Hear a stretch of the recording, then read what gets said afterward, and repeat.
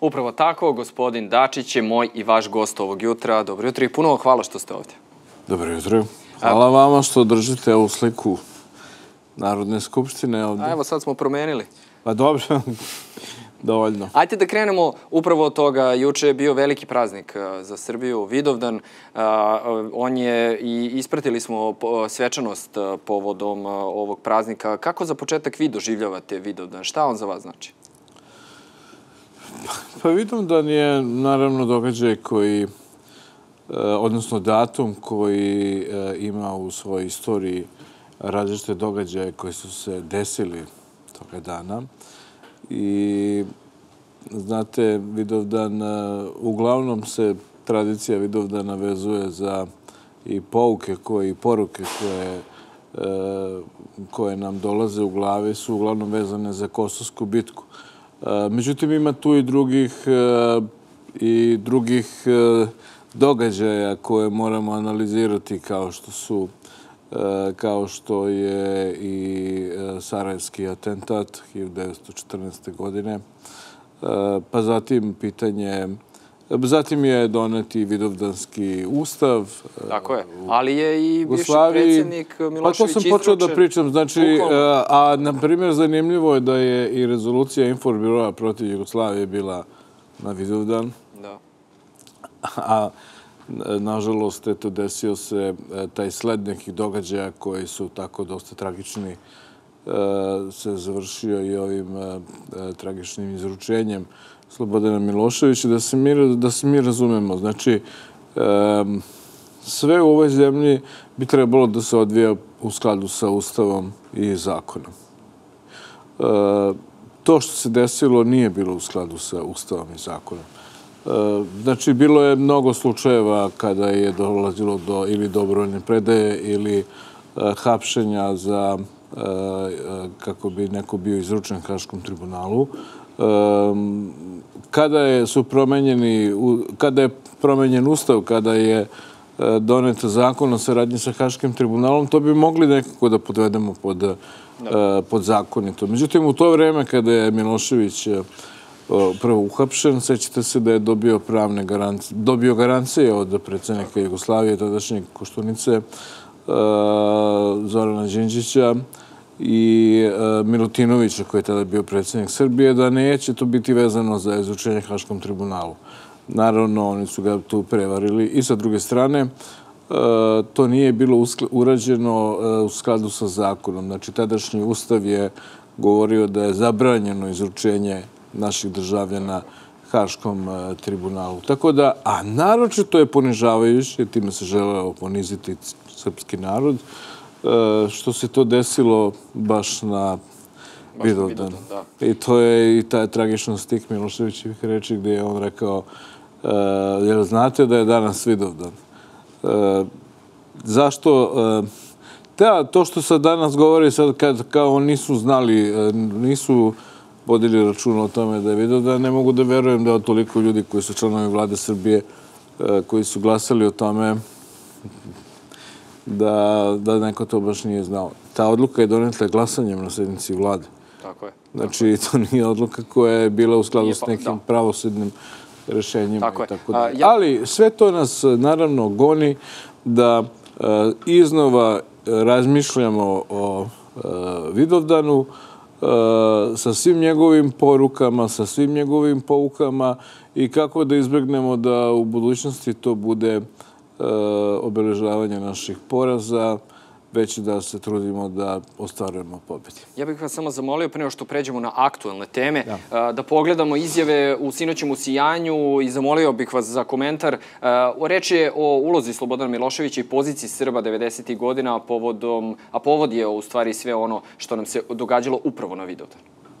Ako Srbi hoće da budu i u sadašnjosti i u budućnosti u skladu sa tim zavetom i postulatom, onda će prosto morati uslov opstanka i uslov tog što se zove identitet ili etnicitet u jednom narodu je čuvanje tog zaveta, negovanje njega i prenošenje na buduće generacije. Još zanimljivije je uh, od toga da on govori da je posle dugo vremena vraćena srpska državnost, misleći na rušenje sistema pokrajina i onoga ustavnog poredka koji je napravljen ustavom 74. Ali znate kako, reći Jugoslaviji, Jugoslaviji nacionalizam, a pride zaboraviti i šta se događalo u Hrvatskoj početkom 70. godina. Kako komentarišete ovo? Pa ovo je komentar verovatno na govor Slobodana Miloševića Na, tako. na Gazimestanu. Ja ću da podsjetim samo da, pošto i vi ste mlad čovjek, ne znam koje ste godine ovaj, rođeni, ali to je bilo... Bio sam mali. Znači, to je bilo 89. godine, 1989. godine, um, 600 godina od Kosovske bitke. Zanimljivo je da je 500 godina obeleženo u Kruševcu. Tako. Uh, zašto u Kruševcu? Zato što Kosovo tada nije bilo uh, u sastavu Srbije uh, 1889. godine. Uh, hoću da kažem da od sredine 15. veka, pošto nije Srbija doživjela vojni poraz odmah baš kada je bio kosovski boj, nego je se to desilo uh, sredinom sledećeg veka, uh, padom Smedereva ovde i kada je Srbija konačno pokorena uh, od Osmanlija. Znači, od tada pa do 1912. godine i 13. godine, do Balkanskih ratova, Kosovo nije bilo u sastavu Srbije. Ali Srbi nikad nisu zaboravili to i nikad nisu iz svog sećanja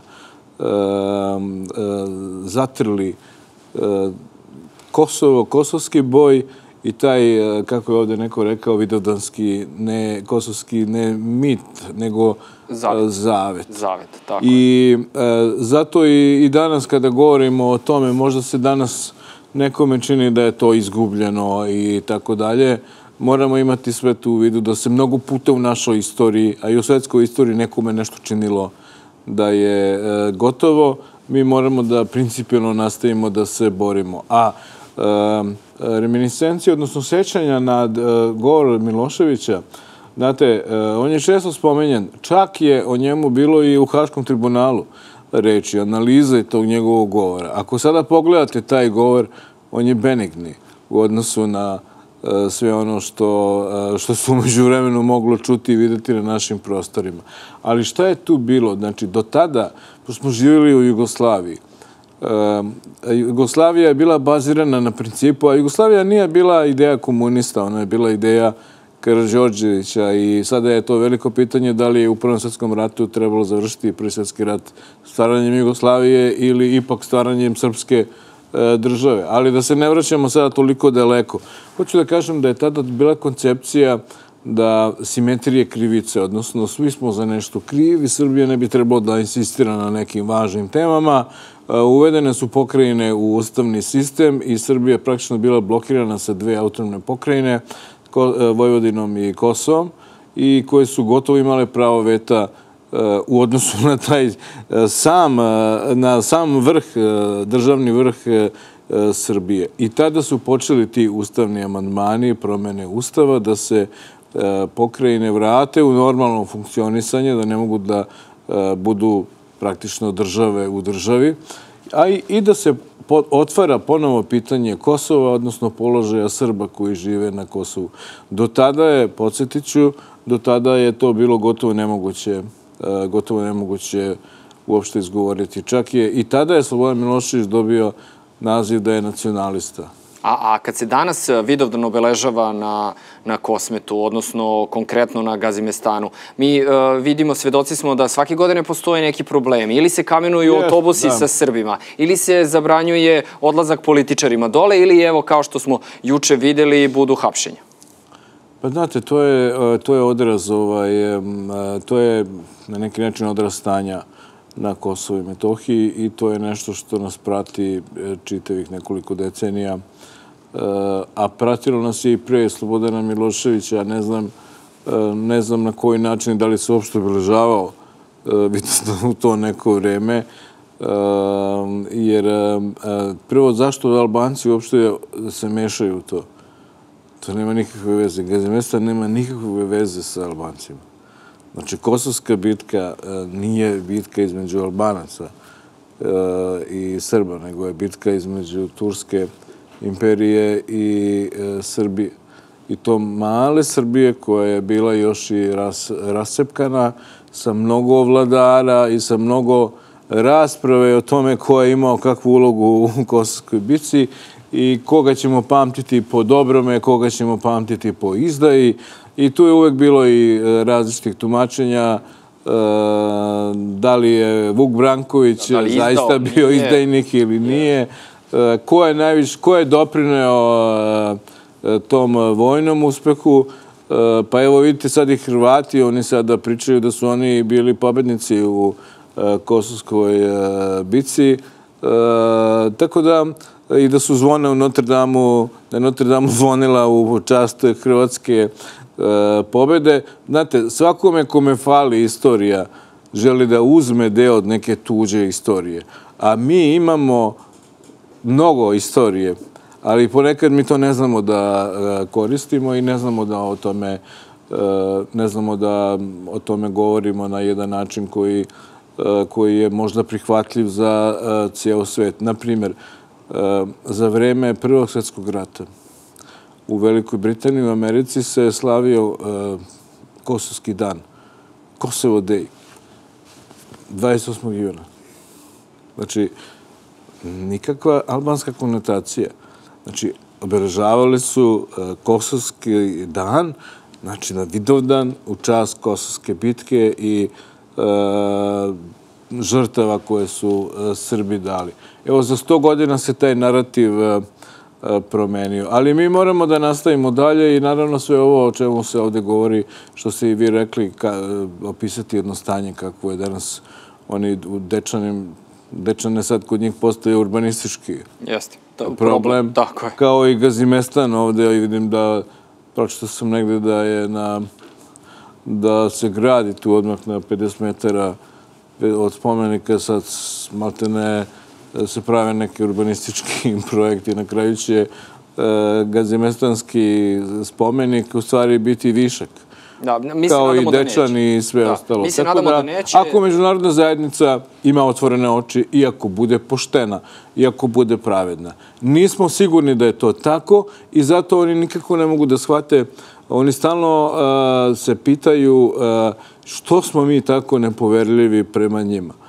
A problem je u tome što oni svojim potezima nas sve više ubeđuju u to da su oni zaista nepravedni, da su oni zaista podlegli svim tim lažima i napravili jednu antisrpsku koaliciju 90. godina i da, bez obzira, nisam nikakav pristalica teorije zavere i ja jesam za upravljanje što čvrstih odnosa sa Zapadom, ali e, pošto znate da sam bio na različitim funkcijama i na različitim mestima i razgovarao sa gotovo svim svetskim državnicima, mnogo je teško razgovarati o srpskim problemima, zato što oni nemaju razumevanja za tako nešto, odnosno oni, kad vi to pokrenete, to pitanje, oni kažu, a nemojte da gledamo u prošlost. Pa, ali, zato, ali zato ne znači da oni neće da gledaju u prošlost kada se posle ne znam koliko uh, godina sećaju Srebrenice, pa sada baš danas donose uh, rezoluciju u, u, austrijskom parlamentu. U austrijskom parlamentu donose rezoluciju uh, o Srebrenici, kao evo sad su se setili uh, posle koliko, 27 godina, što baš, što baš sada i što baš na Vidovdan. To je kao... simbolika. Pa znate, to je kao kada, kada danas pogledate zašto su Austro-Ugari pravili vojne manevre u Sarajevu na Vidovdan. Zar ne smat, nisu shvatili da je to provokacija u odnosu na, na Srbe? Tako da, kao što je izručenje Slobodana Miloševića i i tako dalje. U da. svakom slučaju, e, mislim da je e, današnje stanje e, žalosno i tragično na Kosovo i Metohiji i da bi trebalo da međunarodna zajednica učini maksimum napora da natera kosovsku stranu, da albansku stranu da napravi kompromis. Pa upravo danas u posetu stiže pošle Prištine izvestilac Evropske unije Miroslav Lajčak. On će se sa predsjednikom Vučićem sastati u 19 sati, no i vi ćete imati sastanak sa njime. Pa ova dva dana ima nekoliko važnih uh, sastanaka, dva, tri dana. Ima... Uh, Skupština je sada, Narodna skupština je sada malo u jednoj specifičnoj situaciji kao što znate, pošto je ona raspuštena, ali ja kao predsjednik Skupštine moram da funkcionišem u skladu sa ustavom i zakonom i da obavljam određene dužnosti, tako da ću imati bilateralne susrete i sa danas dolazi predsjednik vlade Crne Gore, Dritan Abazović, dolazi Lajčak, a dolazi i predstavnik OEPS-a za medije, tako da s njim razgovaramo o tim rezultatima međustranačkog dijaloga i svemu ostalome. Znači, veoma značajno. Sutra imate, sutra isto tako imate i prijem povodom dana Amerike. Imate i prijeme u Beloruskoj ambasadi. Ja nisam siguran da će to baš biti pravilno raspoređeno prisustvo, ali znate šta, to je tako. E, mi moramo voditi računa i o našim prijateljima i onima koje želimo da nam budu što veći prijatelji. E, mi, e, jedno, jedino sugestija je da nas Zapad ne gura ka od sebe. Jer svojim postupcima, znate, ako neko izađe pred predsjednika Vučića, čija je pozicija naravno najteža, zato što kao što i on stalno to govori, on je već dva, tri puta upotrebio taj izraz da E, to što iznosi i govori je u svakoj rečenici maltene kontradiktorno jedno sa drugima. To je da mi želimo evropski put, ali e, želimo i da zaštitimo naše nacionalne i državne interese. Ili, ako, kao što je juče govorio, treba nam hrabrosti, treba nam mudrosti. I da li je to nekada jedno sa drugim kontradiktorno? I kako naći pravu, e, pravu sredinu. I upravo to, kad imate sada dođu razni međunarodni predstavnici i sad kažu pred predsednikom Vučićem, znate, vi morate da se pridružite Evropi, eto, mi podržavamo to e, da budete deo Evropske unije, istina ne kažu kada, e, a onda u sledećoj rečenici kažu i mi ćemo da primimo Kosovo u Savjet Evrope. Pa čekajte, e, kako to može da bude paket za Srbiju?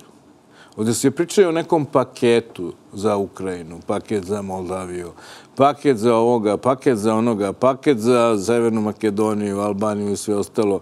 Šta je paket za Srbiju?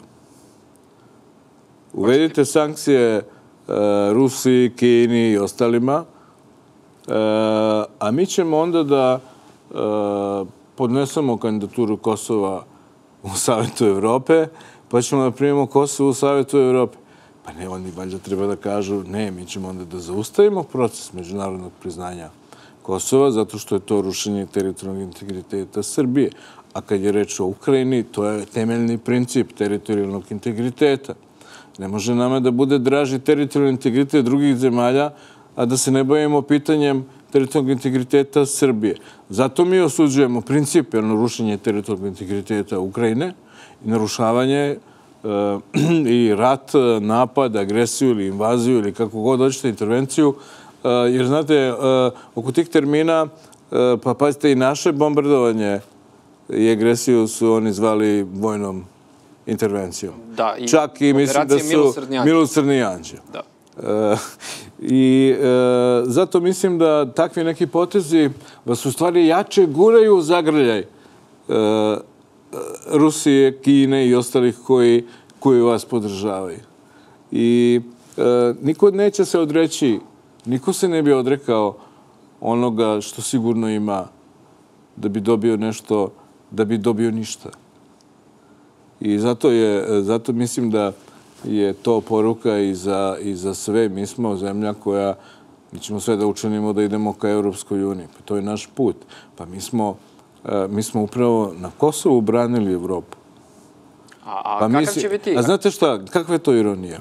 Kada bi knez Lazar mogao da vidi danas koje su zemlje priznale rezultate turske invazije, A osnovni rezultat osmanlijske invazije i osvajanja jeste bila albanizacija Kosova jer e, na Kosovu tada nisu živjeli Albanci.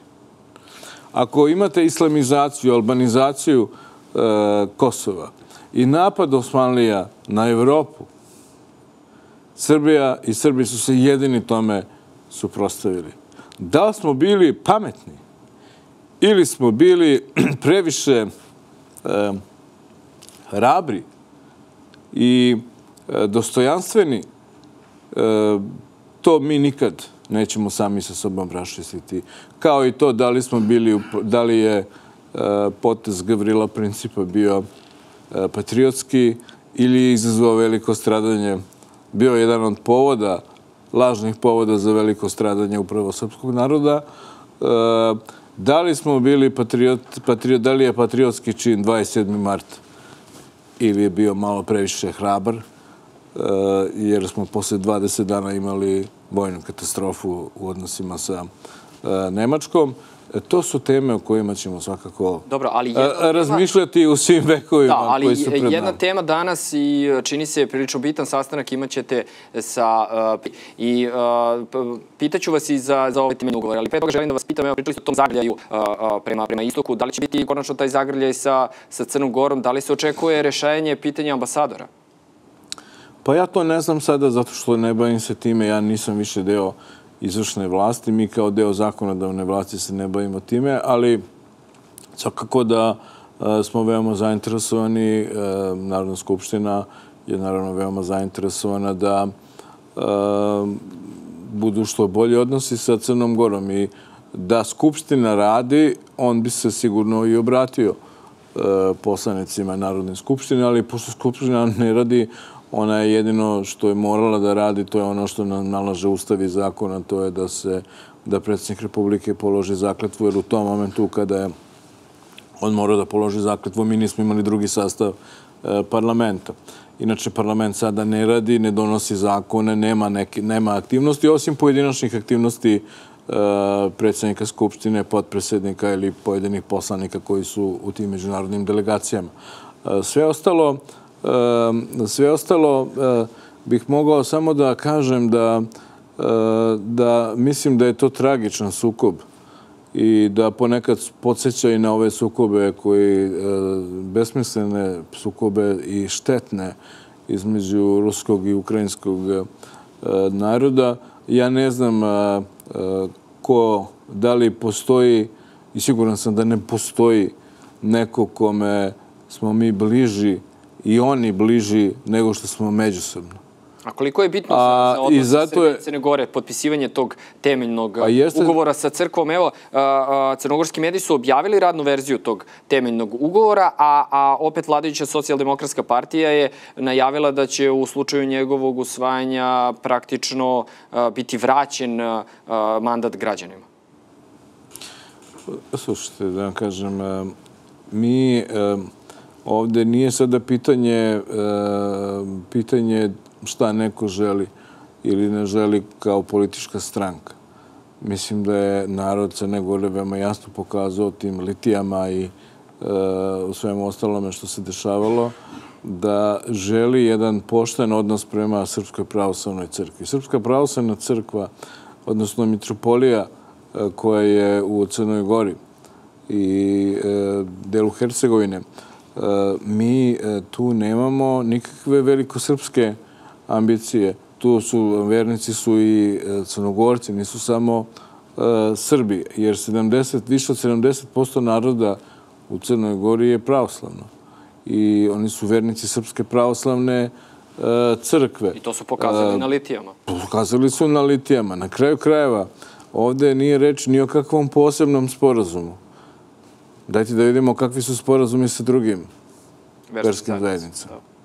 Čekajte, kako može da postoji sporazum sa nekim drugim crkvama, a ne može da postoji sa Srpskom pravoslavnom crkvom. E, tu se sad vraćamo na suštinu problema. Nije ovde centralno pitanje da li će da bude Podgorica pod Beogradom ili Beograd pod Podgoricom, što je bilo možda i češće, verovatno, e, s obzirom na s obzirom na e, tu otvorenost i poreklo ljudi koji, koji dolaze, e, koji, koji životni put praktično vodi, jer malo imate migracija iz Srbije u Crnu Goru, nego je uglavnom to išlo drugim putem, što ja naravno pozdravljam, jer ima mnogo ljudi koji su i u mom okruženju koji su odatle došli. Ali je ovde sad centralno pitanje kako je moguće da neko ko ima 29% stanovništva, kao što je srpski narod, je zastupljen svega 6 do 8% u javnoj upravi, u državnim organima i kako je moguće da sada vi nemate tu e, da je u Ministarstvu spoljnih poslova, na primjer Crne Gore, bio samo jedan Srbin. Da je u kabinetu predsjednika Crne Gore nula koji se izjašnjavaju kao Srbi. Kako je moguće da u, u vladi u vladi, u samim službama vlade je bilo nula. Znači, to su njihovi podaci. Ja sam to pitao prethodnog ministra Srđu Darmanovića. On kaže, pa vi, Srbi su opozicija. Pa čekaj, kako su sada, imate narod opoziciju? Jesu to evropski principi? Nisu. E, to je ono što Srbiji u interesu. Pravo Srba, znači, naš narod koji živi u Crnoj Gori, naša crkva, zajednička, i zato mislim da su da mi e, ja mislim da treba da se budemo da budemo veoma praktični to znači da rešavamo upravo e, te vrste problema a inače e, nikad nećemo se mi složiti oko toga oko nečega iz naše istorije što će svako da tumači na svoj način i svako ima na ima svoje neko tumačenje. Čak i da smo isti narod ako jesmo isti narod ili nismo. Čak i da jesmo, neko bi se uvek smatrao nadređenijim, boljim. Pa znate koliko ima crnogoraca koji smatraju da su bolji Srbi nego što smo mi Srbi. Da. A, I od Nikole Petrovića pa nadalje. I ja sam ponosan na to što mi nikad nismo međusobno ratovali. Ali, pazite, ne može problem Kosova da bude samo problem Srbije. Da, ali jedan... Jer, e, znate, e, Kosovo, e, znači Dečani, Peć su bili, znači Pećka patrijarši i Dečani su pripali Crnoj Gori posle Balkanskih ratova. Znači, oni su ušli u sastav Kraljevine Srba, Hrvata i Slovenaca kao sastavni deo Crne Gore. Njihova država je priznala da je to sada nezavisna albanska država. Pa oni su sada pljunuli i sami na sebe. Nisu oni sada samo pričali o, srpskom, o srpskoj državnosti na Kosovo i Metohiji, nego valjda treba da se zapitaju, jer su Peć, Istok,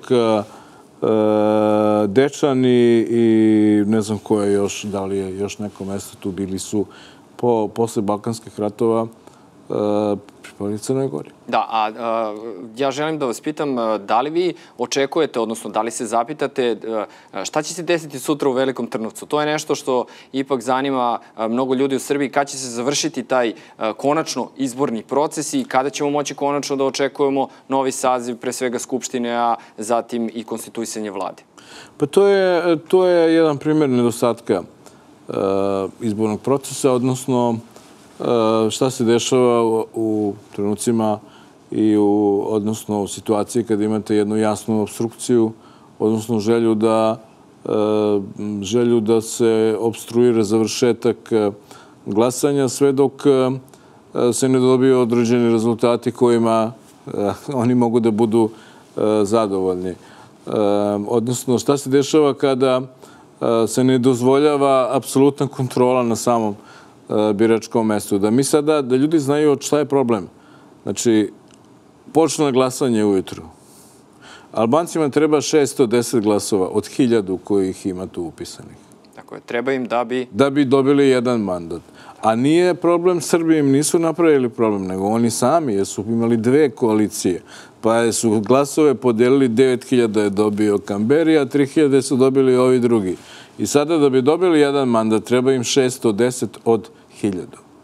To je nemoguće u Trnovcu, zato što, kao što svi znaju, najveći broj ljudi žive ili na Kosovu ili na Zapadu. Ali e, su njihove lične karte tu i oni sami kažu tu, otvori se glasanje, znate, oni odmah uzmu knjigu birački spisak i oni moraju da drže tu knjigu traže se da jedan Srbin i jedan Albanac gledaju.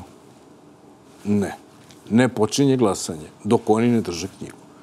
Ili počne glasanje pa bude dojava o bombi. Ne, znate šta? I to. Ali hoću da kažem da naš izborni zakon I uopšte ta upustva koje smo mi uradili uglavnom po želji Evropske unije, pokazala su tu neefikasno. Šta se dešava, na primjer, tada? Kaže se da birački od predsednik, znači, postiže se dogovor ko će šta da radi na biračkom mestu. I ovaj kaže, Albanac kaže, pa nemamo dogovor, mi hoćemo da mi držimo knjige. A zašto hoće da drži knjige? Zato što vi ne možete da gledate koga upisuje, da li je glasao ili nije glasao. I tako se i dešava da se upisuju da su glasali oni koji su umrli uh, ili oni znaju koji su umrli, pa ga onda zaokruže da bi, prošli put je to urađeno, da bi se oborio rezultat koji im nije odgovarao. Pa što onda možemo ja, mislim, sutra? Uh, pa ja zato kažem, mislim, moraju da se ulože napori, da se spuste tenzije i da se održi to glasanje i da se završi konačno taj izborni proces.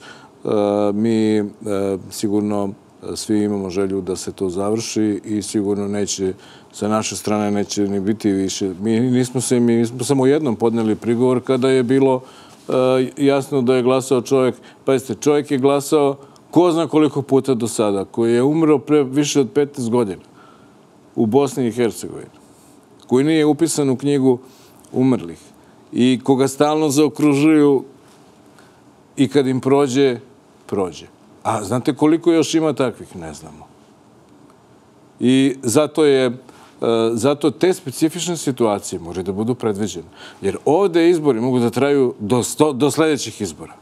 Pa, ali nadamo se da to tako neće biti. Mi. Nadam se ja da tako neće biti. Predsednik Vučić je rekao do kraja jula, a evo analitičari kažu vlada bi trebalo da bude pa makar u septembru. Do duše, nedavno je i predsednik Vučić je rekao da će on dati sve od sebe da taj rok se skrati maksimalno. A to nema nikakve veze sada sa njim. Tu on nema nikakvu ulogu. Ovde je reč, ja pričam o parlamentarnim ne, ne, izborima. vas ja potpuno. Parlamentarnim izborima. Zato vas pitam i... šta možemo sutra očekivati, jer čim se završi izborni proces, Skupština ima 30 dana da pa mi možemo samo da ih pustimo da pokradu. Je li to interes? Pa li jeste? Je li interes da priznamo ono što oni kažu, ovo vam nije Švajcarska, ovde nije da svaki, i da jedan čovjek jedan glas, nego jedan čovjek više glasova. Jer on dođe da glasa po pet puta, on upotrebi lične karte, e, dođu žene koje su, e, koje su pokrivene koje ne možete da kontrolišete koje. Znači, e, svi srpski predstavnici potpisuju primedbe svaki put. Znači, ovde mora da se uloži sve na regularnosti glasanja. A da li će Albanci da dobiju? Neka dobiju. Ali neka glasaju oni koji imaju pravo da glasaju. I to je suština. ja se nadam, ja apelujem zaista na sve da se poštuju propisi i da, e, znate, Alternativa tome je da mi možemo e, moraju da se izmene ti propisi, da, se, e, da postoji kraj jednom takvoj obstrukciji. Ali takva obstrukcija, kao što sam rekao, evo sada, na primjer, niste opet zadovoljni rezultatima. Zaokružite, jer vi niko ne kontroliše te knjige. Ako oni drže sami knjige, kad kažem knjige, to je izbirački spisak. Znači, dolazi vam čovek i koga niko, pošto je to samo albansko selo, nema e, Srba, ni jednog Srbina koji tu živi. Da. E, oni zaokruže koga god hoće. Ako vide da rezultati nisu dobri, zaokruže nekoga. Znači, oni zaokruže mrtvog čoveka. Pa onda podnesu prigovor da se ponište izbori. Da. A vi ne kontrolišete e, to ko upisuje. E, to je bio, to je osnovni razlog zašto dolazi do sukobljavanja u samom biračkom odboru. Vidjet ćemo. Tako da, eto, ja se nadam da i Republička izborna komisija je, uh, je uložila napor da uh, se omogući sutra to glasanje u skladu sa, uh, sa našim zakonima i da završimo proces. Mislim da je veoma bitno da sutra bude kraj kogod dobio poslanički mandat, treba da ga dobije na osnovu rezultata glasanja oni koji na to imaju pravo. Dobro, i onda sledi konstituisanje onda nakon toga tek ide... I onda kreću konsultacije o novoj Tako vladi. Je, zato vi ste kažem... juče izjavili da, da ste vi, odnosno da je SPS zainteresovan da nastavi koaliciju sa... Pa dobro, to nije nikakva novost. Mi imamo, kao što znate, deset godina našu saradnju i mislim da su ti rezultati bili dobri svih ovih godina i da je sasvim logično da u, u skladu sa našim zajedničkim ciljevima nastavimo i saradnju kad je reč o parlamentu i kad je reč o vladi Republike Srbije. Međutim, kao što sam rekao, ti razgovori još nisu otpočeli i to predsjednik Pučić nema nikakvu krivicu. Reč je, kao što sam rekao, o tome da, par, da izbori još nisu završeni i da uh, vi imate tu jednu situaciju da, da uh, on ne može ni da počne konsultacije za formiranje vlade. Uh, kada se završe ovi izbori, ja sam zato i bio protiv da se da ima toliko poništavanja tih izbora, da kada se dobijem ja kao predsjednik Skupštine izveštaj Republičke izborne komisije o konačnim rezultatima, u roku od 30 dana sam u obavezi da zakažem Narodnu skupštinu koja bi se konstituisala eh, i verifikovani, bili verifikovani mandati. E, nakon toga 90 dana je rok za formiranje vlade. E, siguran sam da u skladu sa onim što je predsjednik Vučić rekao, da će on to brže da radi nego što e, to ustavni rokovi Da. I vidjet ćemo šta će biti na, na tim konsultacijama i, i, i kakva će biti sastav nove vlade. Hvala vam puno e, što ste bili... Hvala vama, čestitam vam... Uh, rođendan? Eto, rođendan. Još ste mladi, ali... Ali brzo napredujete. Ali brzo napredujete. Tako da želim vam... Ja u stvari vama, svim novinarima, želim da nemate što da radite. Odnosno, da izveštavate samo o lepim stvarima. Da, hvala. Pa, hvala ali ste za to vi zaslužni između ostalog i mi političari. Dobro, hvala vam puno i hvala vam puno što ste načestitali rođendan i hvala puno što ste bili naš gost. Hvala.